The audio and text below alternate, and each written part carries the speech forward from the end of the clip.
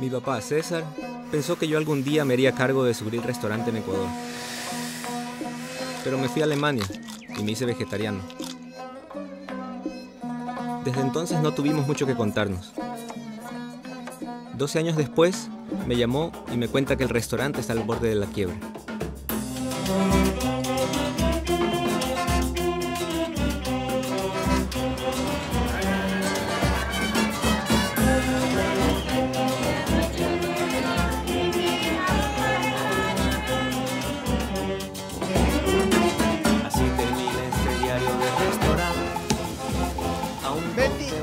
Quema esto.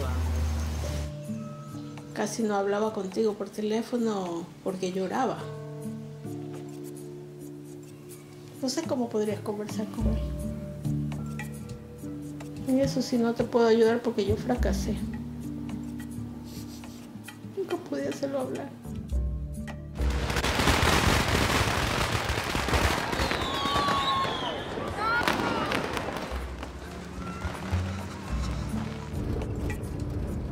Chévere. Te quiero mucho. ¿Ya ves? Todo se, se, se arregla.